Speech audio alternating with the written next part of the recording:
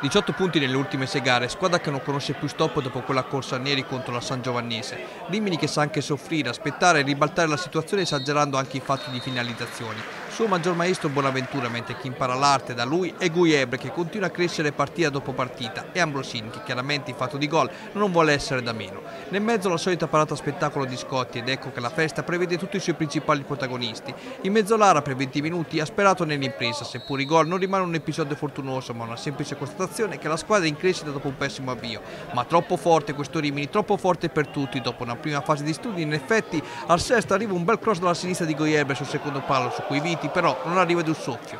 Lo stesso Viti dalla destra pennella un eh, traversone per il colpo di testa Ambrosini dal centro dell'area che però non riesce ad imprimere forza al tiro permettendo a Celeste di bloccare la sfera. Al dodicesimo succede l'inverosimile, in mezzolara passi vantaggio con un tiro dal limite di Menarini che si insacca a fin di palo alla destra di Scotti. In tribuna c'è qualcuno che si guarda perché ricorda quella partita che fu tre anni fa quando a Budio proprio il mezzolara si impose per 3-1 sul Rimini. Ma il Rimini prova subito a rispondere, bella palla verticale di Bonaventura per Ambrosini che a centro aria non trova la deviazione. Passano 60 secondi e di nuovo i biancorossi si spingono in avanti, vinti dalla destra con un bel traversone, serve Cikarevic che non riesce a trovare il tapin vincente, la palla infatti sfila sul lato opposto del campo. Al ventesimo, grande parata di Celeste che annienta il tapin a colpo sicuro di Ambrosini sul cross dalla sinistra del solito Guglielmo.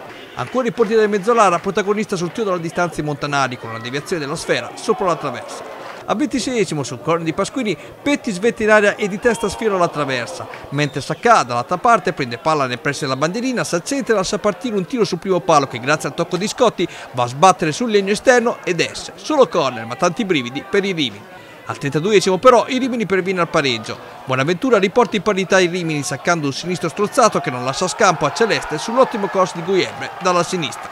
In mezzolara a questo punto stende bandiera bianca, poco ci manca quando sugli sviluppi della punizione arriva un bel cross da sinistra di Pasquini verso il limite dell'area dove Ciccarevic di destro non perdona, ribaltando la situazione 2-1 per i Rimi.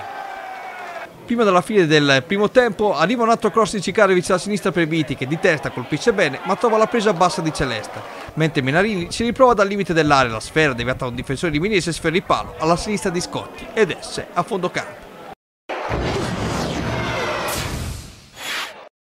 Nella ripresa, la fuga centrale di Cikarevic al sedicesimo minuto finisce con un fallo di Rigon prima che il trequartista Minese entrasse in aria, espulso il centrocampista per doppia ammonizione e dunque il Mezzolara si trova in 10 uomini.